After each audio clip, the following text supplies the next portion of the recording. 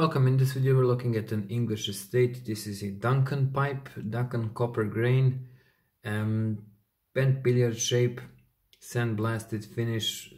It says copper grain under it, it's sort of a 360 sandblast, something like that. Um, it's a 45, uh, number 45 like uh, shape and pipe is in very near mint condition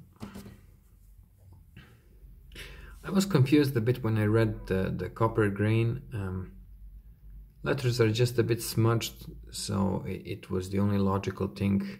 See, it says Duncan here, and then D is like a C, and it goes to uh, upper grain.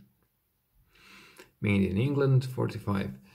Um, letters were just a bit smudged, and um,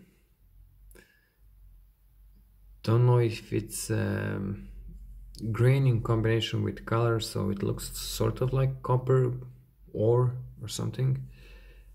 And definitely I mean uh, anyway it's a good looking sandblast and generally a nice looking pipe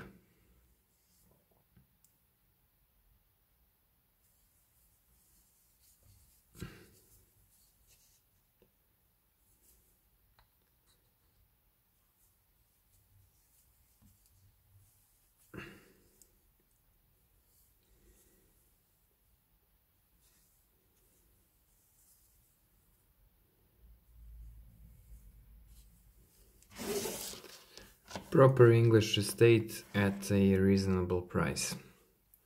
That's all. Thank you for watching and have a good day.